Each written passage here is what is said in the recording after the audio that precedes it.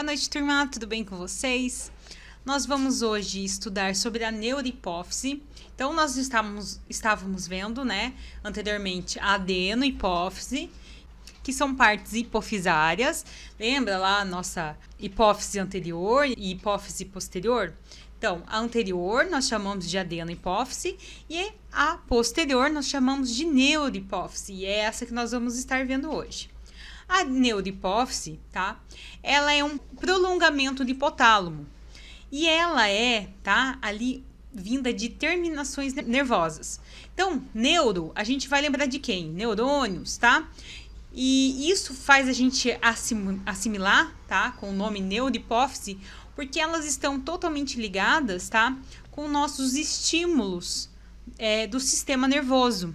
Então, esses é, hormônios produzidos nessa região da neurohipófise, elas vão estar tá agindo é, nessas terminações e vão receber então um nome de é, neurohormônio, tá? Justamente por causa disso, por eles atuarem nessas regiões e estimularem, tá? Por exemplo, contrações é, de certas áreas de músculos, tá? Para que haja então é, ali o estímulo de acordo com é, a área que ela for agir. Então, isso a gente vai estar tá vendo ainda mais para frente, tá? Os hormônios produzidos nessa região, né, na neurohipófise, ou também chamada de hipófise posterior, vão ser dois hormônios: a ocitocina, ou também conhecida como oxitocina, e a DH, que ela também pode ser conhecida, chamada como vasopressina.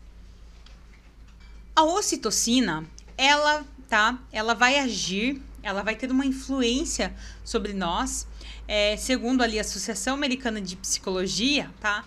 Ela vai ter uma influência comportamental, na criação de memórias, reconhecimento, apego, generosidade, empatia, tá? E tudo que tiver ligado à associação de interações tá? sociais de é, nós, né, com humanos, com animais, essa interação social de apego, de carinho, de sentimento, vai ter ali a influência desse hormônio agindo sobre é, esse ser humano, sobre esse indivíduo, ok?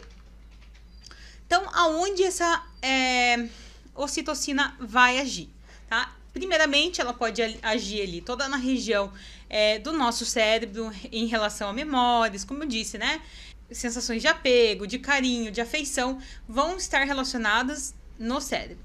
Também vão ter ali é, relacionadas ali ao coração, à próstata, né? É, no útero, é, no feto, foi feito ali é, alguns estudos que já no feto, tá? No cérebro do feto já é possível se encontrar ocitocina nos órgãos é, sexuais ali agindo é, na parte ali de orgasmos então, uma das funções e atuações da ocitocina no nosso organismo é facilitação no, no parto normal. Então, quando é, essa mãe está próximo a, a dar à luz, é, o, o hipotálamo tá, vai produzir esse hormônio, e esse hormônio é produzido no hipotálamo, ele vai ser secretado até a neurohipófise, tá? E vai ser então liberado para essa região ali é, da vagina, né, da mulher ali, para contrações, tá, dessa musculatura, a dilatação dessa vagina para que haja então a liberação desse, desse feto. Vai estar ali também sendo produzidas após esse parto também, no momento da amamentação, ela vai estar auxiliando no processo de lactação. Então, a prolactina que vai fazer o processo de liberação do leite. Mas sem a ocitocina, tá? Muitas vezes a mulher não consegue produzir o leite. Tudo isso ligado à parte emocional em, em gerar um novo filho, tá? Também, né, como eu disse, ela está totalmente ligada, é, relacionada ao apego entre pais e filhos, por isso, né, por mais que seja pais é, não biológicos, né, adotivos ali, ou às vezes uma avó, um avô que criou, não importa quem criou, o fato de haver afeição essa ocitocina é criada e esse laço, então, é fechado entre essas famílias, tá? É, está diretamente ligada ali ao prazer sexual, então, é, ela ajuda no, em orgasmos, ela está presente nesse processo de orgasmo, é, está presente ali é, no processo de ereção é, dos homens, tá? Está interna, é, totalmente ligada ali à produção desses espermas e à força dessa ejaculação desse espermatozoide, tá? Até né, a área externa ali. Então, ele melhora as habilidades sociais. Então, existem ainda, ainda muitos estudos sobre ocitocina, mas já está sendo usado ali em caso de esquizofrenia e autismo, tá? Então, pessoas que têm algumas doenças, tá? Que não conseguem se relacionar, têm dificuldade em se relacionar, é, síndrome do pânico, tá? A ocitocina é, sintética, na forma sintética, pode ajudar esses indivíduos. Já está sendo feito muito estudo sobre isso, já tem ajudado muitos indivíduos com esses problemas, tenha é, não resolvido o problema, mas tem atenuado essas situações, tá? Também pessoas que, é, como a gente falou sobre o prazer sexual, né? Ele também está relacionado, né, nesse auxílio de muitas, muitos homens que às vezes estavam com dificuldade de ereção, também atenuaram a situação, conseguiram ajudar.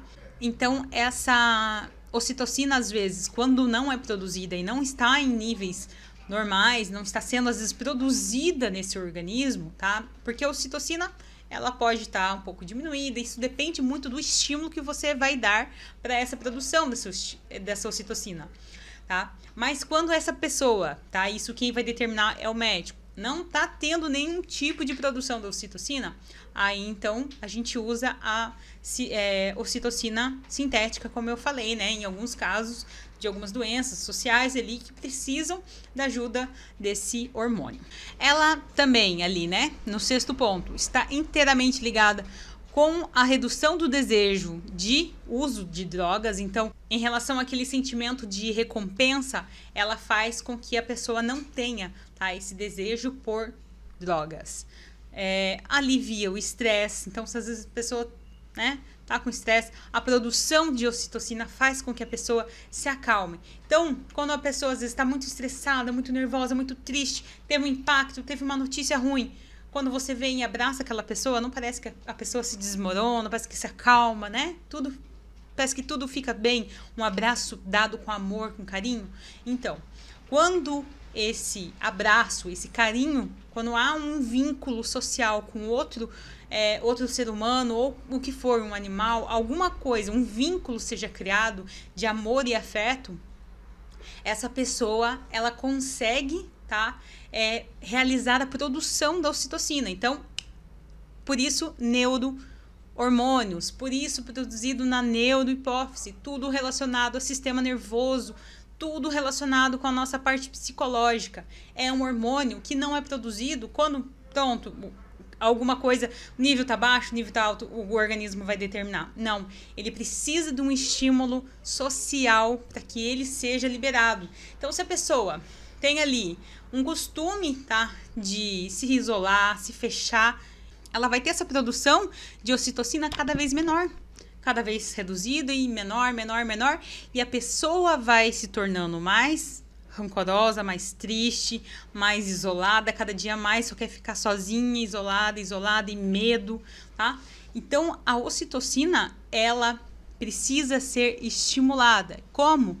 Com interação social.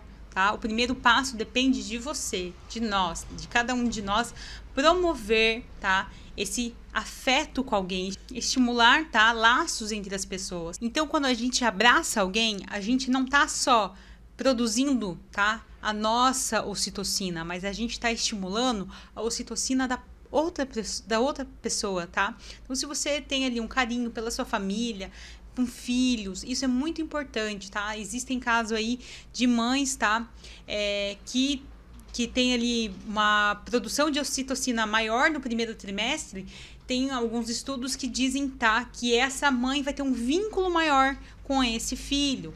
Então, então a ocitocina ela vai ter um papel fundamental, tá? Desde o início ali da gestação, quando essa mãe canta, conta história, conversa com essa criança ali, desde o seu feto, tá? Desde a sua origem ali inicial, nos três primeiros meses, isso é fundamental. E lógico, em toda a gestação, depois né, do processo que essa criança for crescendo, a ocitocina, né, ela tem que ser é, estimulada entre mãe e filho, tá, em toda a família, para que é, isso seja repassado, tá, de geração em geração, e essas pessoas tenham essa produção de ocitocina, que deve ser normal. Por quê?